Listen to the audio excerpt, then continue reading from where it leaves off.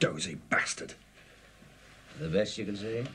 Typical, useless, absolutely. Kirk's a killer, ruthless, efficient. Yeah, well, we knew that, didn't we? Now we've blown it like a bunch of bloody amateurs. Do you think he wanted it this way? I don't give a toss what he wanted. Like Churchill said, if you can't stand the heat, stay out the kitchen. The kitchen, yeah, and it wasn't Churchill, it was Harry Truman. Now, so what? Who cares? The point is we've left Doyle hanging by his thumbs in the middle of all this. So we warn him. If it's not too late.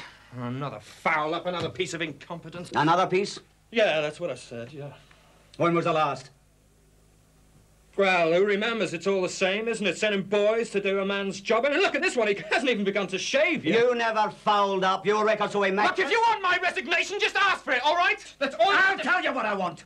I want you to get on that phone, warn Doyle, and stop behaving like a prima donna. I mean what I say. Now, is that clear? Oh, remember, the world is full of Monday morning footballers. On your bike, boy.